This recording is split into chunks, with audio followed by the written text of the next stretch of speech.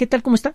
Los saludamos María de Los Ángeles Aranda y Enrique Ganem y tenemos para usted una noticia, como otras que le hemos presentado en estos días, bastante alentadora en relación a la epidemia de COVID-19. Uno de los temas que quedan pendientes, de los grandes temas que quedan pendientes en relación a esta epidemia, a esta pandemia, es si las personas que se recuperan de la enfermedad adquieren una resistencia a largo plazo. Es importante saberlo por esto.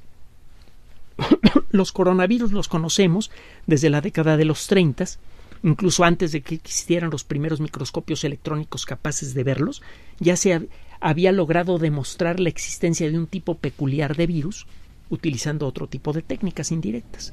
Luego, cuando fue posible inventar el microscopio electrónico y usarlo para observar coronavirus, es que se les pudo dar ese nombre, porque pues, el microscopio electrónico se ven como, como circulitos con, con piquitos, como los de una corona. Los coronavirus durante mucho tiempo los eh, consideramos inofensivos porque lo más que llegan a causar en seres humanos son catarritos. Y la resistencia a esos catarritos es de corta duración. Una persona puede tener varios catarros el mismo año. Y eso significa que la resistencia contra los coronavirus es de corta duración. Un trabajo reciente que todavía no se ha publicado, está en espera de revisión, podría estar eh, eh, podría tener errores o no, no lo sabemos. Es un, pre, un artículo en prepublicación. Sugiere que la resistencia al, a SARS-CoV-2 es de corta duración, no más de 60, 70 días. Eso pues no suena bien, ¿no? Porque si usted va a hacer una vacuna, quiere que la vacuna lo proteja contra el virus durante pues, un año, cuando menos, ¿no? O dos. Esto haría mucho más fácil detener la pandemia. Déjeme decirle que si apareciera una vacuna y esa vacuna solamente fuera efectiva por 60 días, aún así ya acabaríamos con la, la epidemia. Solo que, bueno, con la pandemia, solo que sería mucho más difícil hacerlo. Habría que lanzar una campaña mundial muy bien coordinada para vacunar de golpe a miles de millones de personas en todo el planeta y repetir el proceso 60 días después con dos o tres instancias de vacunación se acabaría la pandemia. Claro está, sería mucho mejor que con una sola instancia de vacunación una persona quedara protegida por años. Bueno, no se me desespere. Hay un artículo publicado en la revista Science hace pocos días, el 15, déjame ver, 15 de julio de 2020. Ni le digo la lista de autores porque eh, debe tener fácilmente un par de docenas, casi un par de docenas de autores entre los autores principales están Nina Levert y Anthony Tan. Generalmente los autores en un artículo científico se ponen por orden de importancia, por orden de relevancia, no por orden alfabético. Bueno, en este trabajo, estos investigadores se pusieron a buscar un tipo peculiar de células del sistema de memoria que se llaman células eh, células de memoria en el sistema de defensa del cuerpo, porque lo dije al revés. Es por la emoción. El sistema de defensa de nuestro cuerpo está hecho de, un, de unas células que colectivamente llamamos glóbulos blancos. Son los principales protagonistas en, el, en, la defensa de nuestro organismo. Y cuando usted los estudia con suficiente cuidado, encuentra que hay varias categorías dentro de los glóbulos blancos. Y encuentra un montón de nombres neutrófilos, monocitos, eh, linfocitos, macrófagos, todos son glóbulos blancos.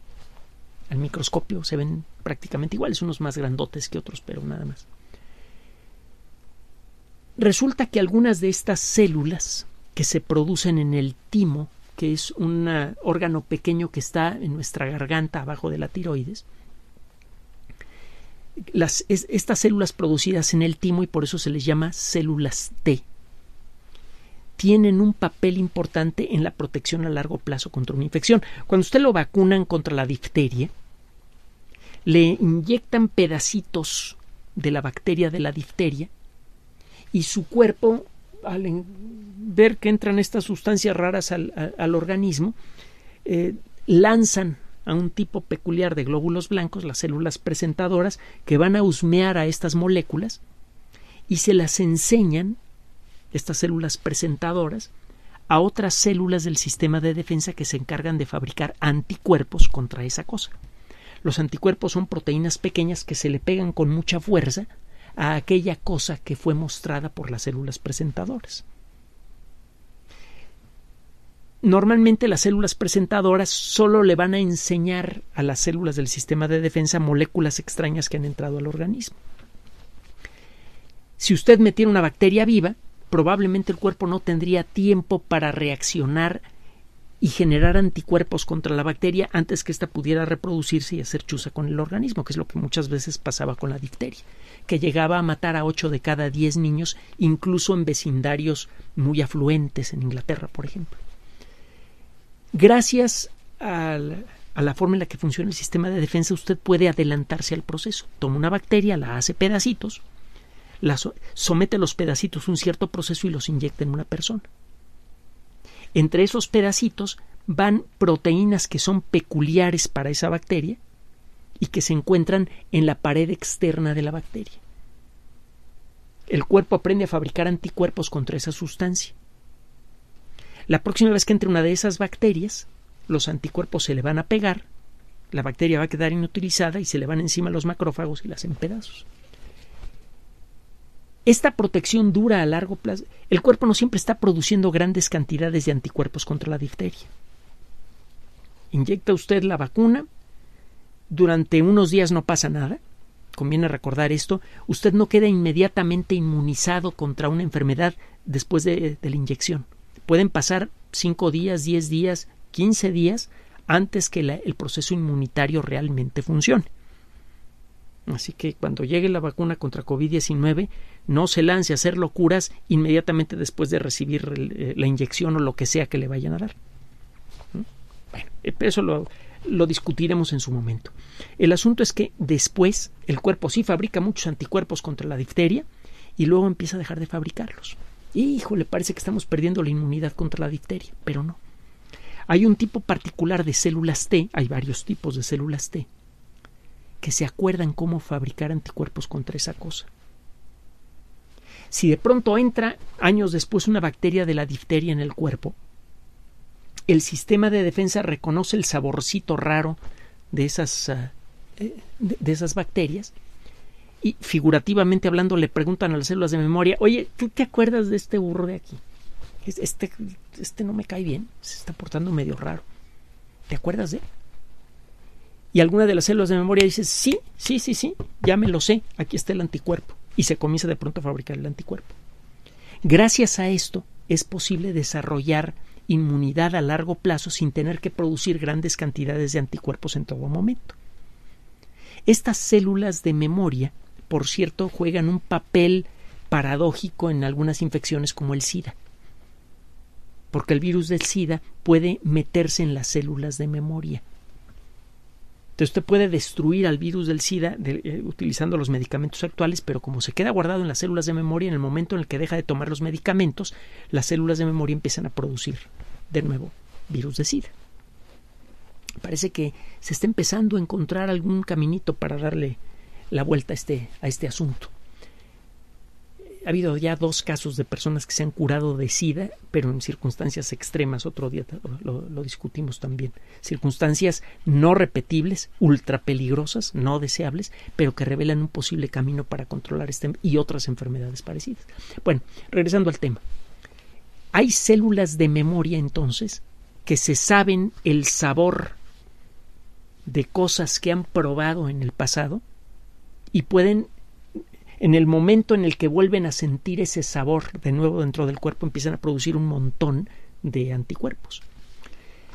En este trabajo, estos investigadores se pusieron a estudiar el caso de personas que se enfermaron del famoso SARS, el primer coronavirus peligroso, casi a principios de este siglo.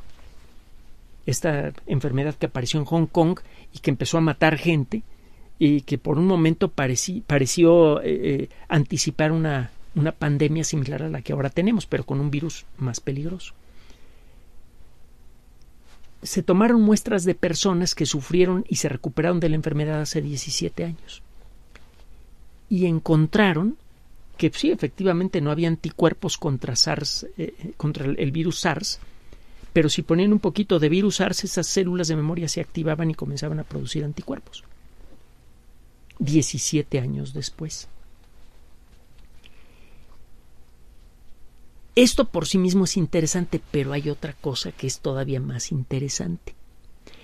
La diferencia molecular entre el, virus SARS del 2003 y SARS-CoV-2 es tanta, son tan parecidos, que los anticuerpos que bloquean, ¿eh? ya sabe para dónde voy, ¿verdad? Que los anticuerpos que bloquean a SARS también tienen efectividad contra SARS-CoV-2. Así que si las vacunas con las que se está trabajando ahora, las vacunas experimentales, logran disparar el mismo fenómeno en relación a SARS-CoV-2, con una inyección podríamos quedar protegidos por décadas. Esta evidencia molecular, fácilmente verificable, es muy valiosa. Existe buena, buenos motivos para creer que existen caminos moleculares accesibles a la medicina moderna para generar resistencia a largo plazo contra SARS-CoV-2. Todavía, en los meses por venir, y, así es como debe ser, la comunidad científica especializada va a seguir debatiendo si existe o no la inmunidad a largo plazo contra SARS-CoV-2. Pero el hecho es que este experimento revela ya de manera directa la posibilidad de crear resistencia a muy largo plazo contra coronavirus, algo que hasta hace poco se creía imposible. Y como consecuencia de eso, la esperanza de tener una vacuna funcional que pueda detener por las, eh, por las buenas y a corto plazo la epidemia, bueno, relativamente corto plazo, es, eh, es real. Sí parecen existir motivos tangibles para creer que vamos a poder parar esta epidemia con una buena vacuna. Esas son buenas noticias, ¿a poco no? Ahora, en los días, en los meses por venir, seguirá usted viendo otras noticias de este tipo en relación a, si eh, eh, es posible o no crear resistencia a largo plazo contra coronavirus. Lo invito, desde luego, escuche las noticias que, quiere usted, pero si escucha usted una noticia que sea demasiado preocupante, lo, invito a que escuche esa noticia con un poco de reserva. Por alguna razón, algunos medios de comunicación masiva parecen deleitarse dando malas noticias. Tiene mucho tiempo que algunos medios de comunicación masiva, que algunos noticiarios en medios de comunicación masiva se han vuelto excesivamente dramáticos, incluso ponen música en un noticiario para hacer más dramática la noticia que van a presentar. Y eso me parece, no sé, a usted, a mí me parece un poco contraproducente porque se supone que la primera cualidad que debe tener un noticiario y los reporteros que trabajan en él es la objetividad. Y por lo tanto no deberían recurrir a herramientas eh, que estimulan a los sentimientos como la música. Pero bueno, ese es otro punto existen buenos motivos para suponer que se puede desarrollar resistencia a SARS-CoV-2 a largo plazo.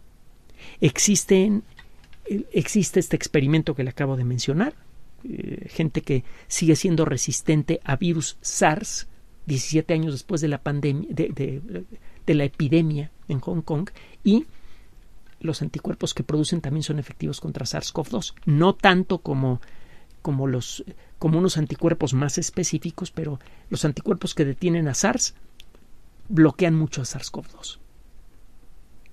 Así que eh, dentro de poco es probable que este conocimiento sirva para modular, para mejorar el proceso de fabricación de vacunas y eh, pues vaya preparando su brazo para la inyección porque se me hace que las vacunas que van a servir primero son las que involucran una jeringa para mi desgracia.